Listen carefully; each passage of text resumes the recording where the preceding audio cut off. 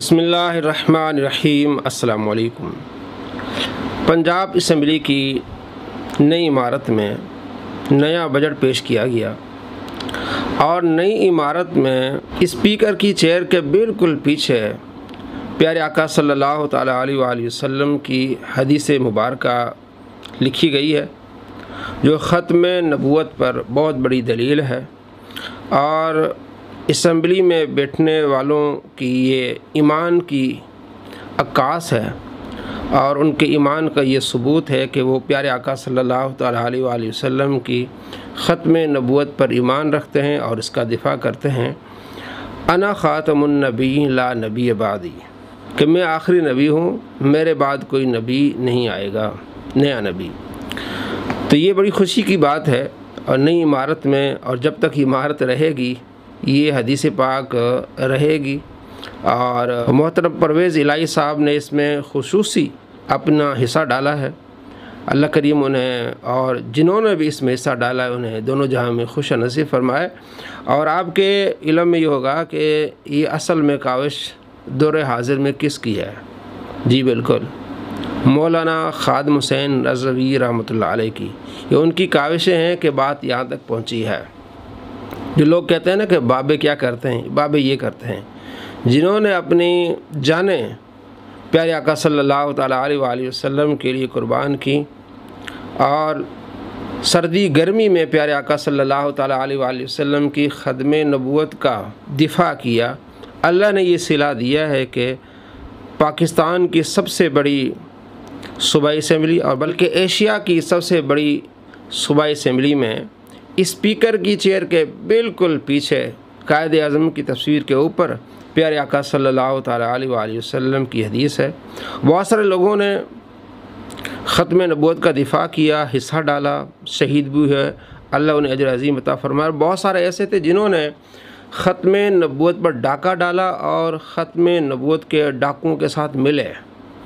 قادیانی جو ختم نبوت کے منکر ہیں اور مرزا جیلمی جس نے ختم نبوت پر ڈاکہ ڈالا، بلکہ اس نے ان علماء کو بدنام کرنے کی کوشش کی، جو علماء ختم نبوت پر کام کرتے ہیں۔ اس پر ہم نے ویڈیوز دکھائی ہیں۔ آپ لکھیں گے یوٹیوب پہ، انجینئر مرزا کے سو جھوٹ بیلی نواز آن لائن تو وہاں آپ کو ویڈیوز بھی مل جائیں گی کہ اس نے یہ کہا ہے کہ جناب جو ختم نبوت پر کام کرتے ہیں، انہیں بہت پیسہ ملتا ہے۔ کہتے ہیں میرے پاس شمس الدین صاحب آئے، وہ کہنے لگے کہ جو ختم نبوت پر کام کرتے ہیں، انہیں پیسہ ملتا ہے۔ تو اس بات کو قادیانوں نے بڑھا لیا، مسلمانوں کو گمراہ کرنے کی کوشش کی کہ بھئی جو علماء کام کرتے ہمارے خلاف، وہ تو پیسے کی لالچ میں کرتے ہیں۔ حالانکہ ایسی بات نہیں ہے۔ علماء جو ہے دین کی خدمت کرتے ہیں، پیارے آقا صلی اللہ تعالیٰ علیہ وآلہ وسلم کی محبت میں اور دین کے دفاع میں دن رات اپنی کاوشیں کرتے رہتے ہیں۔ اور اس میں بڑی خوشی کی بات یہ ہوئی کہ جو پہلا اجلاس ہوا، اس میں انا خاتم النبی لا نبی بعدی پر نعت پڑھی گئی۔ آپ بھی سنیں اور محظوظ ہوں۔ اور بابا جی علامہ مولانا خادم حسین رضوی رحمۃ اللہ علیہ کے لیے دعا کریں، ان کے درجات کی بلندی کے لیے دعا کریں۔ تو سنیے یہ نعت اور محظوظ ہوں۔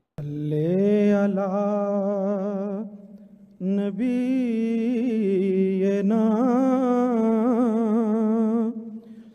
صلی علی محمد خود میرے نبی نے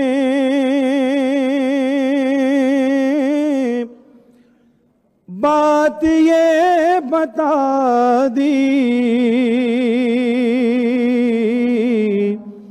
لا نبی آبادی۔ خود میرے نبی نے بات یہ بتا دی۔ لا نبی آبادی۔ ہر زمانہ سن لے۔ ہر زمانہ سن لے۔ یہ نوائے ہادی۔ لا نبی آبادی۔ لمحہ لمحہ ان کا تاک میں ہوا کے جگمگانے والا آخری شریعت کوئی آنے والی اور نہ لانے والا۔ لہ جائے خدا میں، لہ جائے خدا میں۔ آپ نے صدا دی، لا نبی آبادی۔ تھے اصول جتنے، ان کے ہر سخن میں نظم ہو گئے ہیں۔ دی کے سارے رستے آپ تک پہنچ کر ختم ہو گئے۔